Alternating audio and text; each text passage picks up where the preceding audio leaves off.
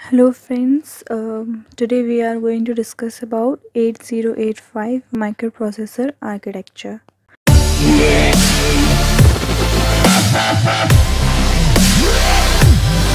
हमारा जो 8085 प्रोसेसर है वो 8 बिट का होता है जैसे कि आपको पता है और वो इसलिए होता है क्योंकि उसकी जो डेटा बस और डेटा लेंथ है वो 8 बिट्स की होती है एंड इसमें जो एड्रेस कैपेबिलिटी होती है वो 16 बिट्स की होती है और इसकी memory one K B means जो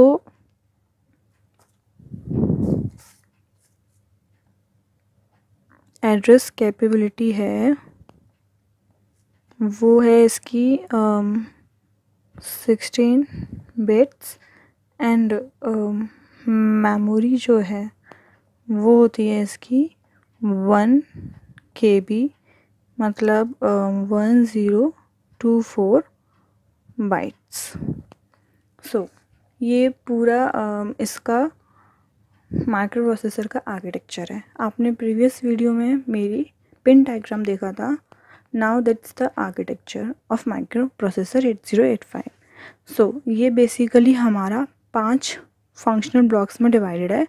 First one A L U arithmetic and logical unit second one is general purpose register ये ये हमारा जनरल पर्पस रजिस्टर है पूरा।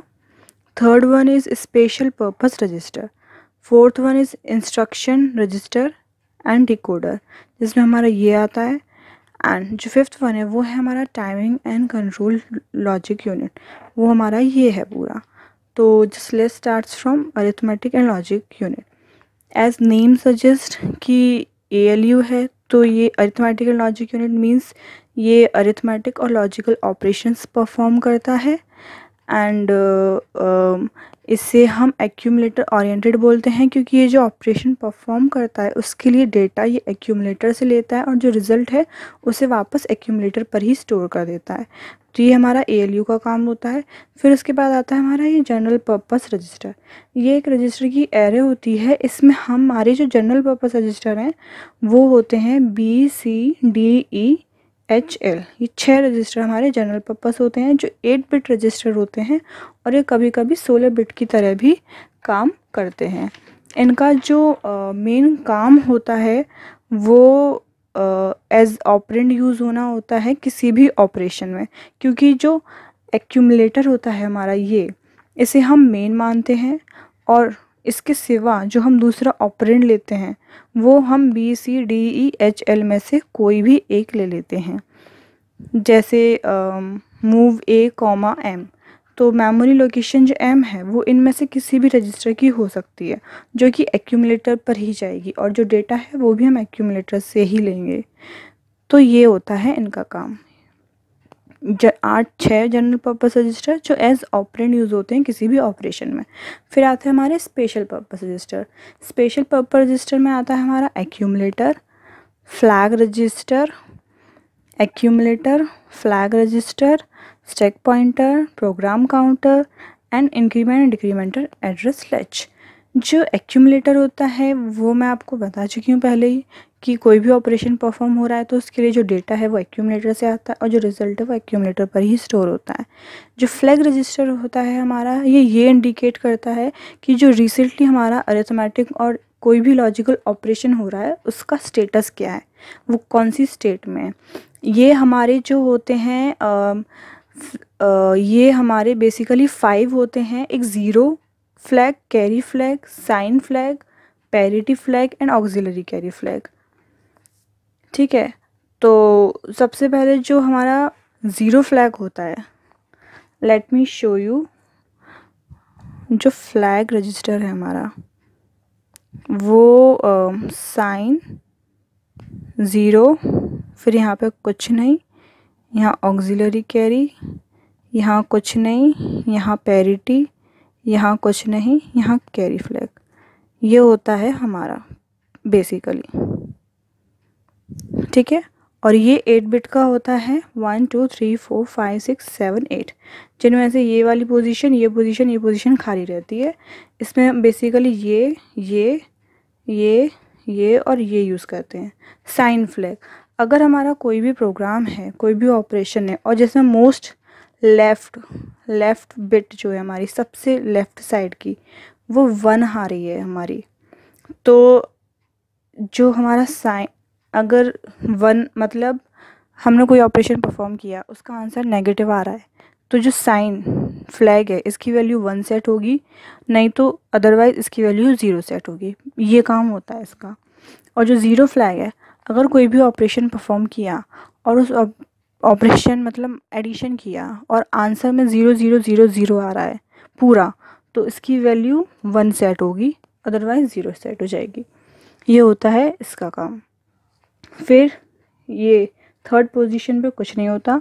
Fourth position A C auxiliary carry हम जब भी कोई भी ऑपरेशन परफॉर्म कर रहे हैं, जैसे zero one one zero one and zero one one zero one तो जब इस बिट से, इस बिट पर अगर कोई कैरी ट्रांसफ़र हो रही है डी थ्री से डी फोर पर अगर कोई कैरी ट्रांसफ़र हो रही है तो हमारी ऑक्सिलरी कैरी की वैल्यू आ जाती है वन नहीं तो ज़ीरो।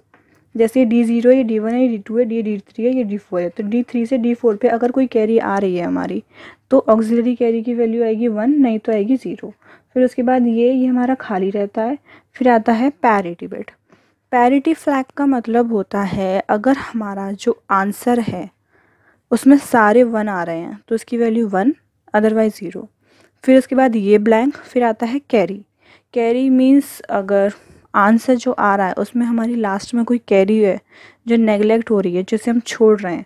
अगर आ रही है तो यहाँ वन नहीं तो ज़ीरो ये है हमारा ये है हमारा स्पेशल पर्पस रजिस्टर में फ्लैग रजिस्टर का काम। फिर आता है stack point register stack point register as हम पढ़ चुके हैं ऑलरेडी कि वो top of the stack position जो है, उसे पॉइंट आउट करता है, जो सिक्सटीन बिट का होता है। फिर आता है प्रोग्राम काउंटर ये भी सिक्सटीन बिट का रजिस्टर होता है, ये वो एड्रेस ये उस इंस्ट्रक्शन का एड्रेस होल्ड करता है जो हमारा नेक्स्ट एग्जीक्यूट होने वाला है। फिर इंक्रीमेंट डिक्रीमेंटर एड्रेस लिस्ट इसके अंदर दो होते हैं, एक एड्रेस बफर और एक डेटा एड्रेस एड्रेस बफर जो यूनिडायरेक्शनल होते हैं सिक्सटीन बिट्स के। Data data and address buffer जो एट बिट्स के होते हैं और बाय डायरेक्शनल जो एड्रेस और डेटा बस दोनों की तरह काम करते हैं। ये हमारा ये हमारा हो गया दूसरे टाइप दूसरा फंक्शनल ब्लॉक स्पेशल पर्पस नहीं, तीसरा, पहला ए दूसरा जनरल पर्पस रजिस्टर तीसरा special purpose register now fourth one come come on the instruction register and decoder instruction register and decoder instruction register में क्या होता है? कोई भी इंस्ट्रक्शन होते हैं, वो पहले इंस्ट्रक्शन रजिस्टर में आगे स्टोर होते हैं, फिर वो इंस्ट्रक्शन डिकोडर में डिकोड होके फिर वो साइक्लिंग एंड कोड होते हैं, फिर वहाँ से जो इंस्ट्रक्शन है वो टाइमिंग एंड कंट्रोल यूनिट में आ जाते हैं। टाइमिंग एंड कंट्रोल यूनिट क्या करती है? जो इंस्ट्रक्शन हमारे डिकोड और एनकोड होकर आते हैं एड्रेस बस डेटा बस और कंट्रोल बस से। उनको यहाँ पर ये ऑपरेट करती है। उनको टाइमिंग देती है, उनका कंट्रोल सेट करती है। बेसिकली ये जो लाइन है हमारी, ये एट बिट इंटरनल बस को इंडिकेट करती है। तो टाइमिंग एंड कंट्रोल यूनिट में हमारे X one and X two दो इनपुट दे रखे हैं क्लॉक जनरेटर यहाँ पे एक ऐसी डिवाइसेस को हम इनपुट देते हैं, जिससे हमारी क्लॉक जनरेट हो, जो कि इस माइक्रो प्रोसेसर को फ्रिक्वेंसी प्रोवाइड कराए।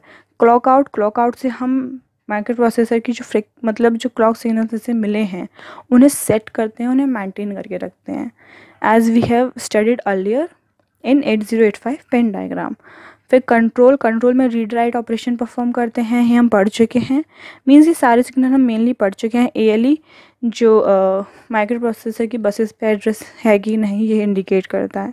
स्टेटस ऑपरेशन का स्टेटस बताता है किस तरीके का है। यही।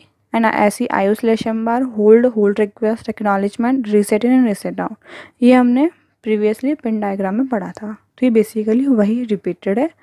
As I hope you understand it very well if you have not seen the previous video then just look at it once you will definitely get it now the I the last one is functional block left was um, its interrupt control and serial IO control that we have not studied. At we have actually studied in pin, di pin diagram but not discussed yet here. तो interrupt control में हमारी one two three four five six five interrupt pin आ रही हैं basically इसमें वही interrupt control की pin हैं जो हमने पिन पिन डायग्राम में पढ़ी थी I N T R I N T A R S T की तीन और ट्रैप ये आपको तभी समझ आएगा अगर आपने प्रीवियसली पिन डायग्राम की वीडियो देखी होगी, क्योंकि इसमें मोस्टली सारे वही पिन डायग्राम के सिग के सिग्नल्स यूज़ हो रहे हैं। तो अगर आपने वो वीडियो नहीं देखी है तो just look at it once and then come to this एक बार आप उसे देखिए और फिर उसके बाद आप इसे आइए। एंड सीरियल आयो सिग्नल में यहाँ से सीरियली इनपुट जाता है और डेट आउटपुट आता है। मीन्स एक बार में एक ही बाइट जाती है। और ये जो रजिस्टर्स हैं, इनका जो डेटा बस में वो मल्टीप्लेक्सड होके जाता है मल्टीप्लेक्सर का यूज़ करके। और ये temporary register accumulator temporary register से डेटा आता है अरिथमेटिक लॉजिकल यूनिट्स में, फिर फ्लिप फ्लॉप एक बार में एक ही बैट इंटरनल बस पे जाता है, वहाँ से इंस्ट्रक्शन रजिस्टर से वो डी कोड एन कोड होकर टाइमिंग एंड कंट्रोल यूनिट में जाता है, वहाँ उसका ऑपरेशन परफॉर्म होता है। और यहाँ से यहाँ से इससे हम ये पता करते हैं कि कौन सा ऑपरेशन परफॉर्म करना है हमें, कितने बिट्स का परफॉर्म करना है और कहाँ पे वो रिज़ल्ट स्टोर होगा। और एड्रेस बस और डेटा बस, जो बफर्स हैं हमारे जहाँ पे हमारा एड्रेस और डेटा स्टोर होता है, वो ये है। फ्लैग रजिस्टर मैं आज आपको बता चुकी हूँ। And address capability eight zero eight five की सिक्सटीन बिट्स होती है। And memory one zero two four byte. So I hope you understand this architecture diagram. Thank you very much.